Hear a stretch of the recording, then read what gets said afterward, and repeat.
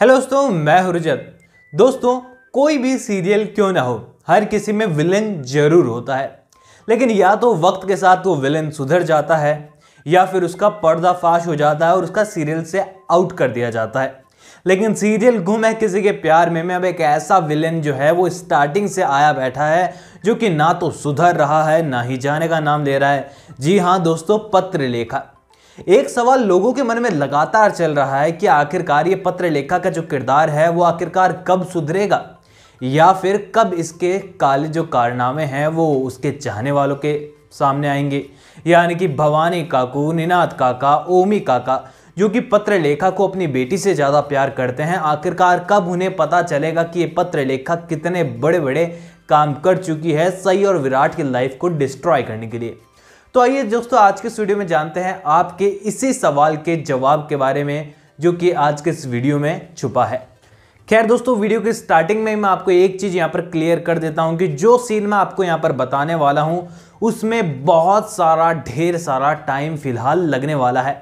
क्योंकि दोस्तों, आप लोगों के सवाल थे, इसलिए ही मैं इस टॉपिक पर वीडियो बना रहा हूँ। तो दोस्तों, सबसे पहले तो आपको एक चीज़ क्लियर कर देता हूँ कि इंडियन टेलीविज़न के इतिहास का ये पहला ऐसा विलेन होने वाला है जो कि स्टार्टिंग के सीरियल के फ़र्स्ट एपिसोड से लेकर आखिरी एपिसोड तक आपको सीरियल में देखने को मिलेगा। यानी कि ये चीज़ तो भूल जाइए कि पत्र लेखा इस सीरियल से निकलने वाली है या फिर चले जाने वाली है। तो यहाँ पर आपको इससे पत्र लेखा के फैंस को खुशी ज़रूर मिली होगी, लेकिन जो पत्र लेखा के हेटर्स हैं, उनको बहुत बुरा लगा होगा।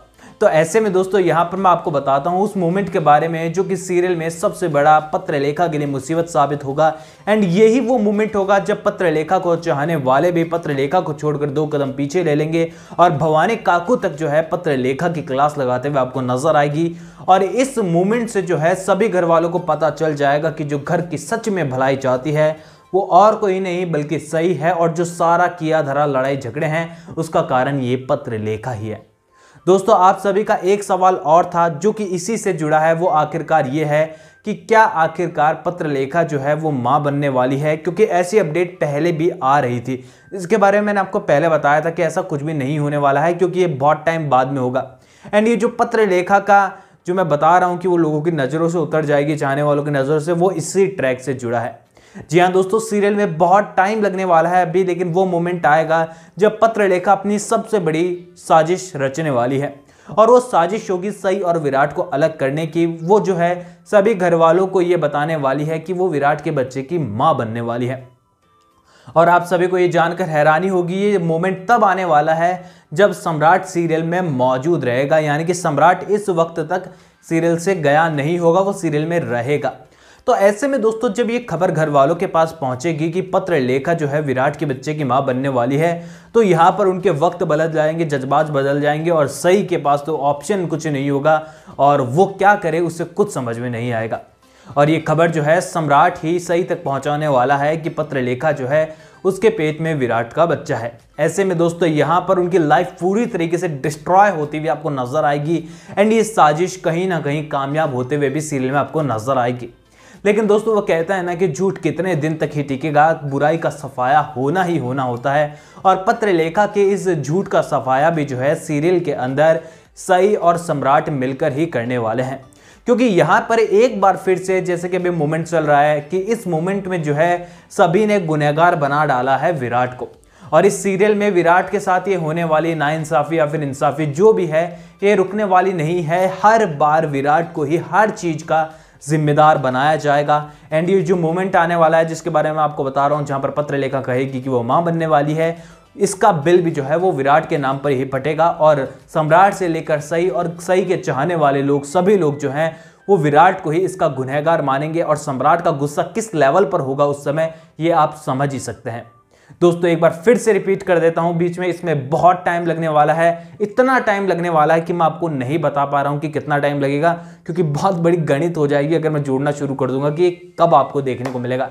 लेकिन हाँ देखने को ज़रूर मिलेगा, भले ही पाँच छः महीने बाद देखने को मिले या साल भर बाद देखने को मिले, वो अब देखते हैं क्या होता है।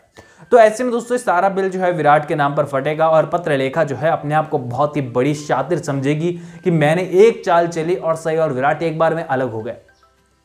लेकिन यहाँ पर सिचुएशन घर में ऐसी हो जाने वाली है कि पत्र लेखा को लगेगा कि अब वो अपने जाल में खुद ही फंसते जा रही है। क्योंकि यहाँ पर विराट के प्रति जो घर वालों का व्यवहार है, वो इतना गंदा हो जाएगा कि पत्र लेखा को लगेगा कि मेरी एक साजिश की वजह से विराट की लाइफ डिस्ट्रॉय हो रही है सही की जगह पर। और यहाँ पर घर में इतना कुछ बवाल हो जाएगा, इतनी सिचुएशन बिगड़ जाएगी, गंदी सिचुएशन हो जाएगी कि यहाँ पर पत्र लेखा खुद उगलने वाली है अपना सच कि उसने सिर्फ़ और सिर्फ़ झूठ बोला और उसके पेट में कोई विराट का बच्चा नहीं है, उसने सिर्फ़ और सिर्फ़ जो है एक साजिश रची थी। एंड जब ऐसा गंदा सच घिनौना सच घर वालों के सामने आएगा तब भवानी काकू से लेकर निनाद से लेकर हर कोई शख्स जो है वो समझ जाएगा कि पत्र लेखा का असली चेहरा क्या है। जी हाँ दोस्तों आपको बता देता हूँ कि ये मोमेंट बहुत ही इंटरेस्टिंग सीरियल में आपके लिए होने वाला है। वेल well, टाइम बहुत लगने वाला है लेकिन ये मोमेंट आने वाला है। अब यहाँ पर दोस्तों सवाल ये उठता है कि क्या भवानी काकू, जो कि सही को हमेशा पीछे पड़ी रहती है, क्या वो पत्र लेखा को भी घर से निकालने की बात करेगी? तो दोस्तों मैं आपको यहाँ पर बता दूँ कि अगर पत्र लेखा को यहाँ पर भवानी काकू सुनाने तो बहुत कुछ वाली है। यहाँ पर पूरी तरीके से सभी को पता चल जाएगा कि पत्र लेखा का असली चेहरा क्या है और यहाँ से पत्र लेखा की उल्टी गिनती भी शुरू हो जाएगी। लेकिन यहाँ पर पत्र लेखा भी बड़ी ही शातिर और बड़ी ही दिमागदार है और कुछ ज़्यादा ही तानों को झेलने वाली भी है, क्योंकि ताने मारने में एक्सपर्ट है तो झेलने में भी होगी ही। तो ऐसे में दोस्तों यहाँ पर पत्र लेखा घर छोड़कर नहीं जाएगी, इतना कुछ होने के बाद भी।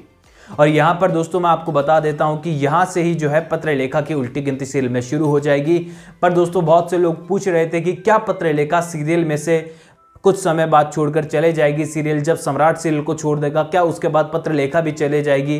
तो दोस्तों, मैं आपको बता देता हूँ कि पत्र लेखा का किरदार भले ही चौवान निवास से आई डोंट नो कि वो जाएगा भी या फिर नहीं, लेकिन अगर चौहान निवास से जाता भी है तो भी सीरियल में उसका जो स्टोरी में जो है, वो बहुत ही अहम किरदार होने वाला है, क्योंकि एंडिंग तक पत्र लेखा का किरदार जो है, वो महत्वपूर्ण भूमिका निभाएगा ही निभाएगा। एंड यहाँ पर दोस्तों आपको लग रहा होगा इतनी सारी बातें सुनकर पत्र लेखा के बारे में कि पत्र लेखा ने कितना कुछ गलत किया है। लेकिन दोस्तों एट लास्ट मैं आपको ये बात भी बता देता हूँ कि पत्र लेखा ही वो शख्स होने वाली है जो कि फाइनली एकदम पूरी तरीके से सही और विराट को एक करेगी लास्ट में। तो दोस्तों इसके बारे में मैंने सिंगल वीडियो बनाया कि सीरियल की एंडिंग कैसे होगी, अगर आपने वो वीडियो नहीं देखा है तो डिस्क्रिप्शन में मैं आपको लिंक दे दूँगा। तो वो आप देख लीजिएगा आपको पता चल जाएगा कि एंडिंग कैसे होगी सीरियल की। आई थिंक आपको ये इन्फॉर्मेशन अच्छी लगी होगी वीडियो पसंद आया होगा और आपके सवालों का जवाब आपको मिल गया होगा। क्योंकि दोस्तों एक सवाल था जो कि तब से मैं जब से मैं सीरियल गुमे किसी के प्यार में का वीडियो बना रहा हूँ तब से ही लोग पूछ रहे थे एंड मैंने सोचा कि आज फाइनली आपको ये चीज़ बता ही दी जाए। वेल well, दोस्तों आपको लगा भी होगा कि सीरियल में मूवमेंट जल्दी आएगा पर मैं आपको लगातार वीडियो में तीन चार बार रिपीट करते हुए आया हूँ कि टाइम बहुत लगने वाला है। तो प्लीज़ आप अपडेट को समझने की कोशिश कीजिए। एंड अगर वीडियो अच्छा लगा हो तो वीडियो को लाइक करके चैनल को सब्सक्राइब करके बेल आइकन को दबाना मत भूलिएगा, क्योंकि आपके फेवरेट टीवी सीरियल से जुड़ी अपडेट मैं आपको लगातार यहाँ पर पहुँचा देता हूँ। और आपके कोई भी सवाल होते हैं तो मैं उन पर भी पूरी कोशिश करता हूँ वीडियो बनाने की। आपका कोई भी सवाल इंस्टाग्राम पर शेयर कर सकते हैं लिंक आपको डिस्क्रिप्शन में मिल जाएगा। दोस्तों, मैं अगले वीडियो के साथ फिर से लौटूँगा। जब तक लिए थैंक यू दोस्तों।